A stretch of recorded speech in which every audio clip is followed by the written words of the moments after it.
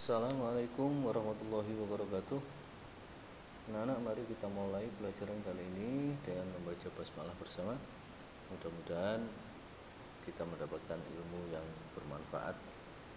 Mari kita mulai. Bismillahirrahmanirrahim. Pelajaran kita kali ini menyempurnakan hidup melalui pernikahan atau munakahat. Ketentuan pernikahan dalam Islam Pernikahan merupakan jalan terbentuknya institusi keluarga. Pernikahan merupakan fitrah pribadi dari masyarakat atau fitrah pribadi masyarakat. Adapun fungsi pernikahan adalah yang A sebagai salah satu pilar kokohnya sebuah masyarakat sebagai penerus kelangsungan hidup manusia merupakan perlindung perlindungan dan terjaganya akhlak dan tata susila. Selanjutnya yang D merupakan jalan bagi berlangsungnya proses pembentukan dan penanaman nilai.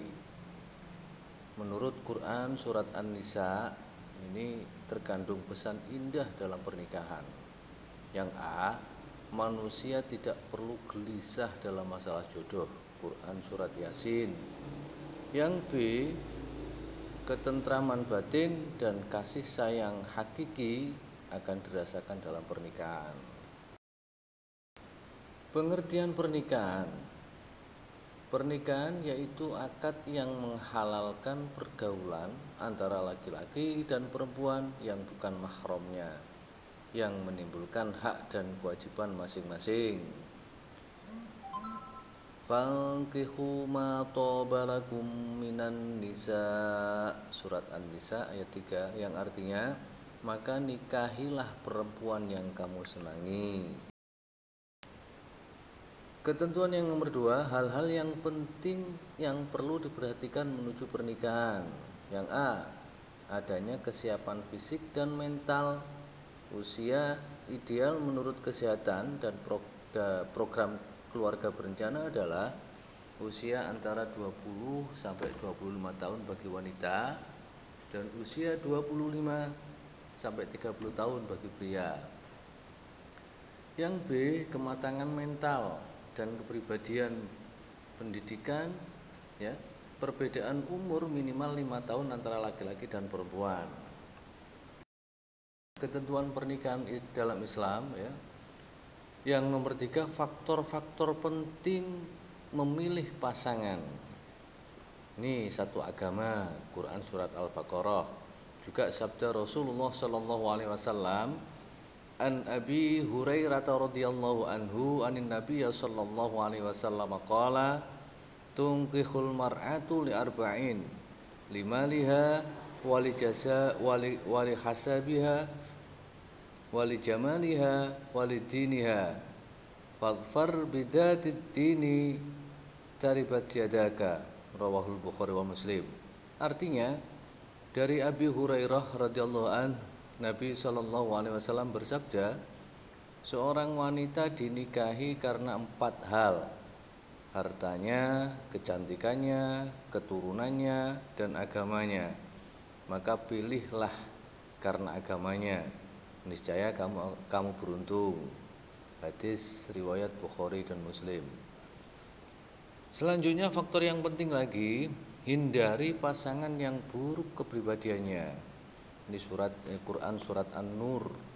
Ya, terus selanjutnya tetap tetap memelihara kesucian diri dalam pergaulan karena pernikahan adalah ikatan suci dalam proses memilih pasangan ya, proses memilih pasangan pun tetap menempuh jalan kesucian. Selanjutnya mohon pertimbangan juga kepada Allah Subhanahu wa taala melalui sholat istikharah. Selanjutnya hukum pernikahan ya. hukum pernikahan ini bersifat kondisional artinya berubah menurut situasi dan kondisi seseorang dan lingkungannya. Ada lima macam hukum pernikahan yaitu yang pertama jais atau mubah. Hukum ini adalah hukum asli pernikahan. Artinya bagi yang sudah memenuhi syarat ia berhak menikah. Selanjutnya hukum sunnah Hukum ini berdasarkan pemahaman bahwa siapa saja yang mampu memenuhi syarat nikah namun tidak khawatir berbuat zina, ia disunnahkan melakukan pernikahan.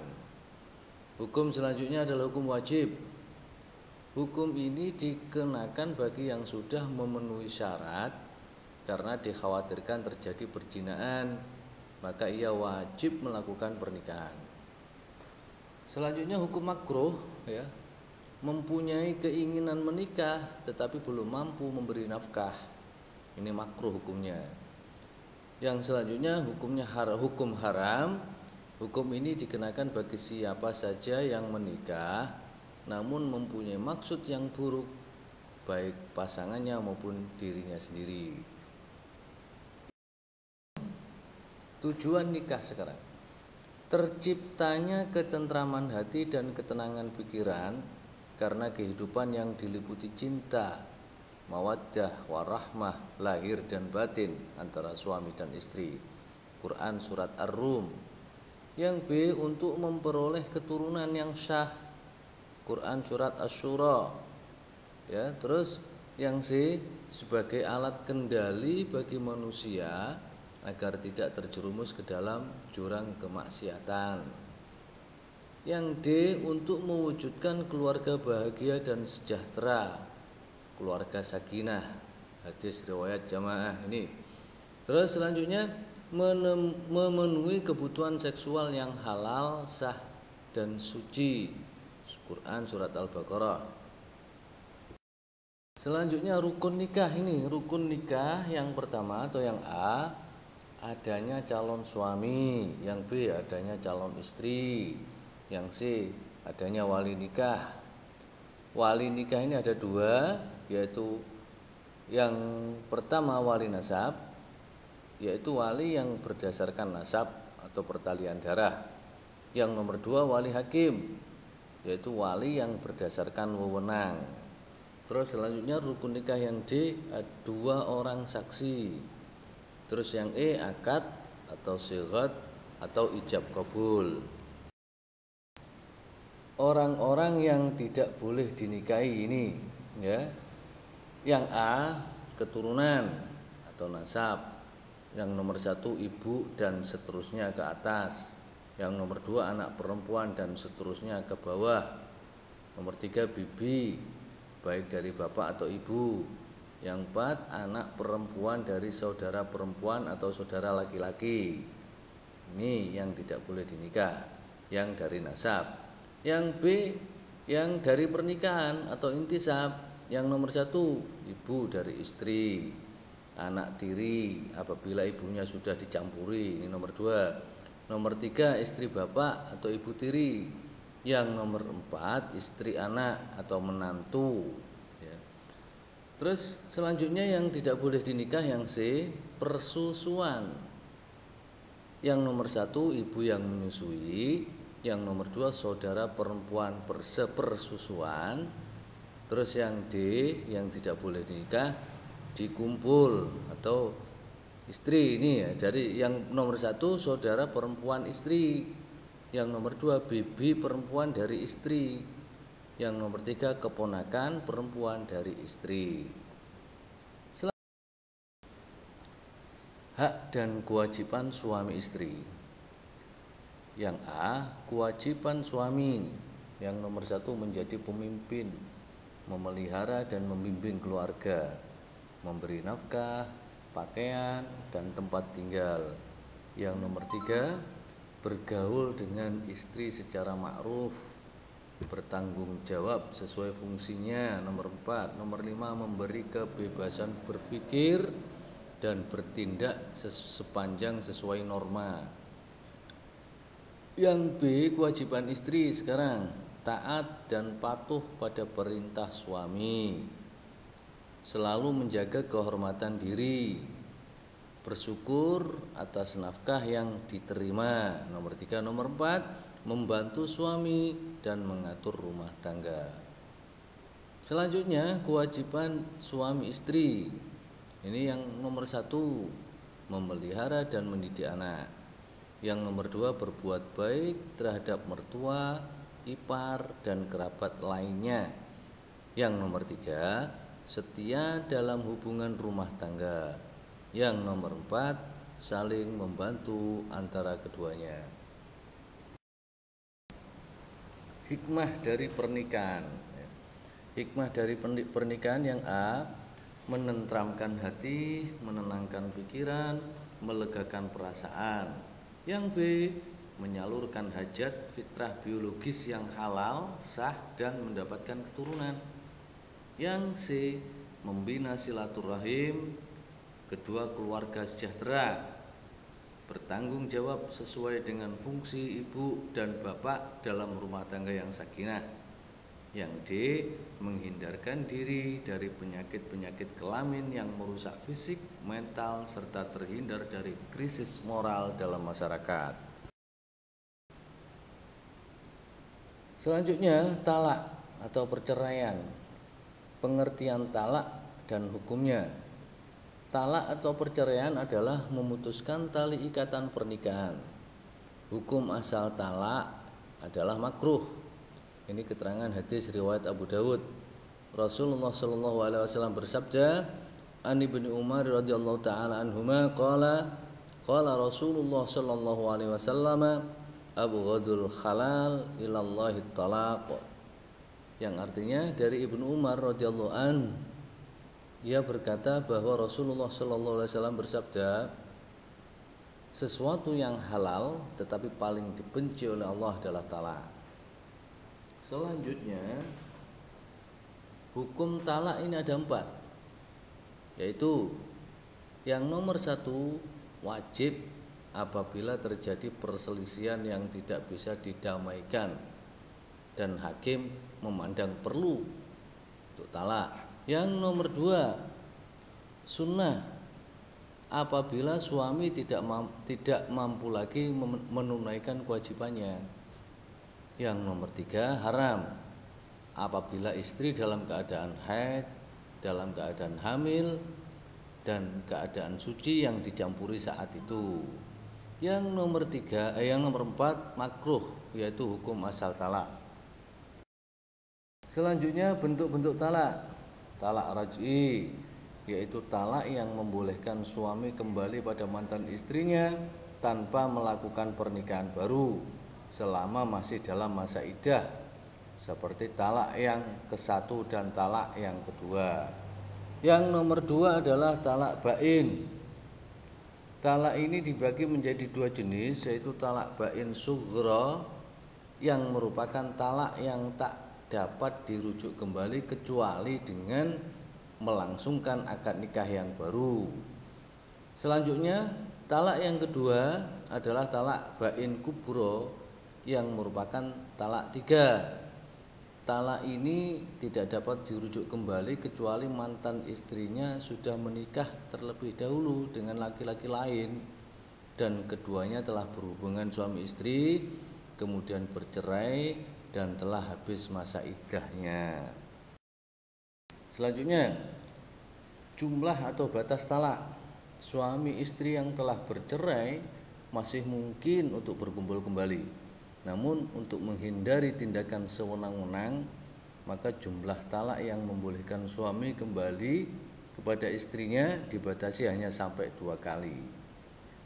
Setelah talak jatuh tiga kali, suami istri tidak boleh lagi kembali kecuali istri telah menikah lagi dengan orang lain atas dasar suka sama suka sesudah bergaul dan cerai lagi. Tolong pahami Quran surat Al-Baqarah ayat 229 sampai 230. Yang nomor tiga apabila terjadi talak ke satu dan kedua konsekuensinya adalah suami dapat berkumpul kembali kecuali dengan syarat-syarat tersebut. Cara menjatuhkan talak ada dua cara untuk menjatuhkan talak. Satu dengan kata-kata yang jelas yang syarih. Misalnya suami berkata kepada istrinya, "Engkau saya talak, engkau saya ceraikan." Maka dengan perkataan tersebut jatuh talaknya, sekalipun tidak disertai dengan niat. Nomor dua, dengan kata-kata samar atau sindiran atau kinayah. Misalnya, suami berkata, "Pergi engkau ke, pergi engkau dari sini atau pulang ke rumah orang tuamu." Dengan perkataan serupa ini, talak belum jatuh apabila tidak disertai dengan niat. Penyebab terjadinya talak yang nomor satu, li'an yaitu suami dan istri saling melaknat. Suami menuduh istri berzina tetapi tidak dapat membuktikan dengan empat saksi. Yang nomor dua jihar. Secara bahasa artinya punggung. Secara istilah seorang laki-laki yang menyamakan istrinya seperti ibunya ibu sendiri.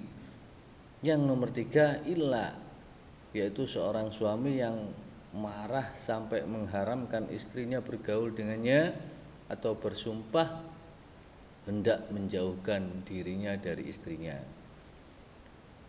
Nomor empat tak, eh, taklik talak yaitu seorang suami yang melanggar janjinya ketika diucapkan saat akad nikah seperti tidak memberi nafkah istri selama enam bulan berturut-turut atau menyakiti badan istri Sejalan dengan itu sang istri tidak ridho kemudian mengadukan ke pengadilan agama jatuh talak satu. Yang kedua hulu. Hulu yaitu talak yang diminta oleh istri kepada suaminya dengan memberi iwal atau tebusan yang disebabkan oleh beberapa hal tertentu. Adapun faktor-faktor yang dapat dijadikan alasan istri untuk meminta talak tebus atau hulu adalah suami ternyata seorang pezina, pemabuk, penjudi, dan selalu melakukan maksiat lainnya. Dengan demikian, hulu dapat dilakukan jika ternyata antara suami dan istri tidak ada persesuaian hidup dan inisiatif justru datangnya dari pihak istri bukan dari pihak suami fasah. Pengertian dari talak ini adalah talak yang dijatuhkan oleh hakim atas pengaduan istri. Talak fasah dapat dilakukan karena satu adanya aib atau cacat pada salah satu pihak. Nomor dua suami tidak mampu memberi nafkah.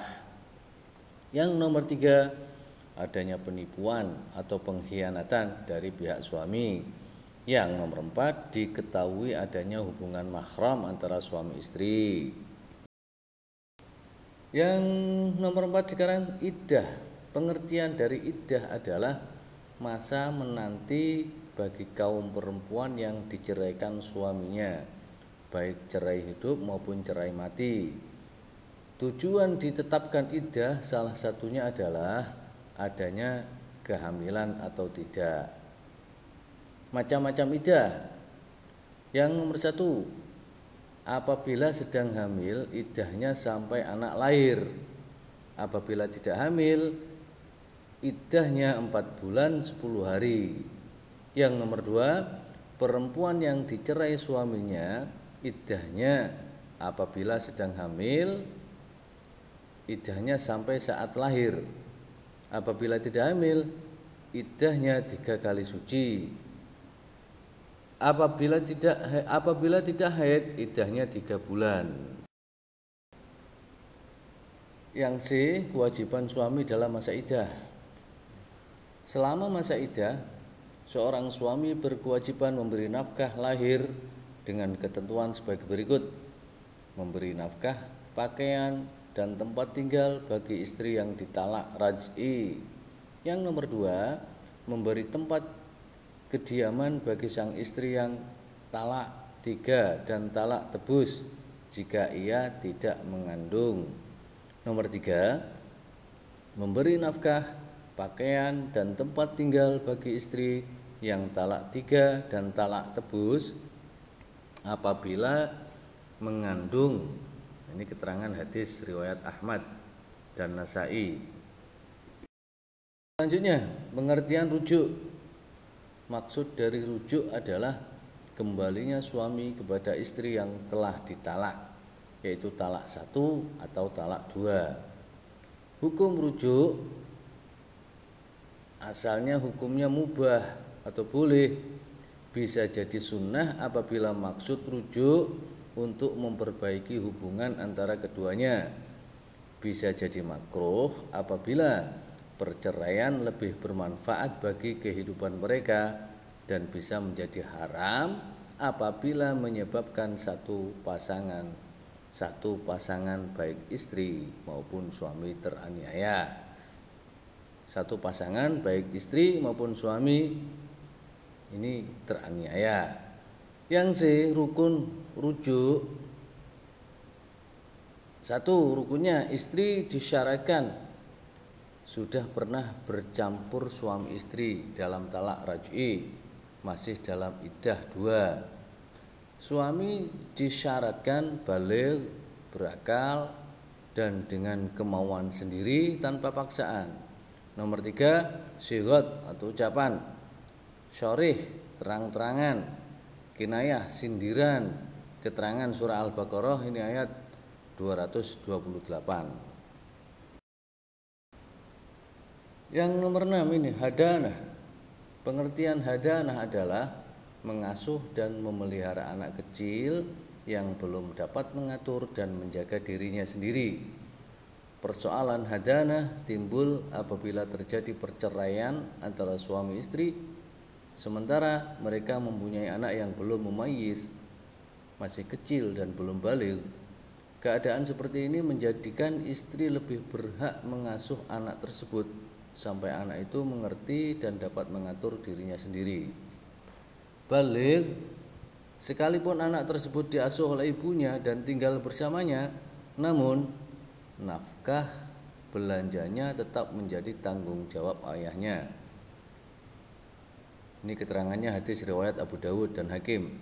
Syarat-syarat menjadi hadanah ini berakal, berakal sehat, merdeka, melaksanakan ajaran agama, dapat menjaga kehormatan dirinya, dapat dipercaya, menetap bersama anak yang dididiknya. Dalam Undang-Undang Nomor 1 Tahun 1974 Pasal 2 Ayat 1 ditegaskan bahwa perkawinan sah apabila dilakukan menurut hukum agama masing-masing. Selanjutnya dijelaskan perkawinan sah apabila dilakukan menurut hukum Islam. Yang B, perkawinan menurut hukum Islam adalah akad yang sangat kuat untuk mentaati perintah Allah dan melaksanakannya merupakan ibadah. Yang nomor dua, pencatatan perkawinan. Dalam Undang-Undang Nomor 1 Tahun 1974 Pasal 2 Ayat 2 dinyatakan bahwa setiap perkawinan dicatat menurut peraturan perundang-undangan yang berlaku. Kemudian dirinci agar A. Terjamin ketertiban perkawinan bagi masyarakat Islam Indonesia. Pencatatan nikah harus dilakukan oleh pegawai pencatat nikah. Setiap perkawinan harus dilaksanakan di hadapan pengawas atau pegawai pencatat nikah Perkawinan yang dilakukan di luar pengawasan pegawai dicacat pencatat nikah tidak mempunyai ketentuan hukum. Tujuan dan batasan-batasan poligami dalam Undang-Undang Nomor 1 Tahun 1974 Pasal 3 Ayat 12 dinyatakan pada asasnya bahwa dalam satu perkawinan seorang pria hanya boleh mempunyai seorang istri Sementara seorang perempuan hanya boleh mempunyai seorang suami. Pengadilan memberi izin kepada seorang suami untuk beristri lebih dari satu apabila dikehendaki oleh pihak yang bersangkutan. Selanjutnya, pada pasal 4 dan 5 ditegaskan bahwa suami yang akan beristri lebih dari seorang wajib mengajukan permohonan kepada pengadilan di daerah tempat tinggalnya. Pengadilan hanya memberi izin berpoligami apabila yang A, istri tidak dapat menjalankan kewajibannya sebagai istri. Istri mendapat cacat badan atau penyakit yang tidak dapat disembuhkan. Yang C, istri tidak dapat melahirkan keturunan. Terus dalam mengajukan permohonan poligami berikut adalah syarat-syarat yang harus dipenuhi. Yang A, adanya persetujuan dari pihak istri. Yang B, adanya kepastian bahwa suami menjamin keperluan hidup istri-istri dan anak-anak mereka. Yang D, adanya jaminan bahwa suami akan berlaku adil terhadap istri-istri dan anak-anak mereka. wanita dalam Islam. Ajaran Islam ini menghapus seluruh bentuk-bentuk kezaliman terhadap kaum wanita dan mengangkat derajatnya selayaknya seorang manusia. Wanita merupakan salah satu makhluk Allah Subhanahu wa taala yang tentunya penciptaannya juga mengandung hikmah. Salah satunya adalah dengan adanya wanita maka proses berlangsungnya kehidupan manusia akan terus berjalan sampai datangnya hari akhir. Hak wanita dalam keluarga yang nomor dua. Hak menurut bahasa adalah ketetapan dan kesesuaiannya dengan realitas. Sementara istilah sementara istilah adalah hal-hal yang ditetapkan dengan ketentuan syar'i dan kecenderungan untuk menerapkannya. Hak-hak wanita dalam Islam adalah sebagai berikut. Yang A, hak untuk memiliki kebebasan. Hak rumah sebagai tempat privasi. Hak untuk mengemukakan pendapat. Hak untuk menuntut ilmu. Hak terkait kepemilikan harta. Hak dalam pernikahan, hak dalam berwasiat. Yang nomor tiga sekarang kedudukan wanita dalam keluarga. Allah berfirman dalam Quran surat An-Nisa ayat 32, 32 sebagai berikut A'udzu billahi rajim ولا تتمنوا ما فضل الله به بعضكم على بعض للرجال نصيب مما اكتسبوا وللنساء نصيب مما اكتسبن was'alullahu min fadlih innallaha kana bikulli syai'in alima artinya dan janganlah kamu iri hati terhadap karunia yang telah dilebihkan Allah kepada sebagian kamu atas sebagian yang lain. Karena bagi laki-laki ada bagian dari apa yang mereka usahakan dan bagi perempuan pun ada sebagian dari apa yang mereka usahakan. Mohonlah kepada Allah sebagian dari karunia-Nya. Sungguh Allah Maha mengetahui segala sesuatu. Quran surat An-Nisa Seorang suami ayah adalah seorang pemimpin dia bertanggung jawab terhadap yang dipimpinnya sementara seorang istri atau ibu adalah seorang pemimpin di rumah suaminya dengan demikian kedudukan wanita sebagai ibu dalam keluarga memiliki peran yang sangat penting karena hanya wanita yang mengandung dan melahirkan. Sehingga berlangsungnya generasi Islami masa depan ini akan tetap ada. Seorang istri mampu memberikan inspirasi kepada suami dengan kontribusinya melalui yang A. Ketaatan sebagai bentuk bukti istri terhadap suami.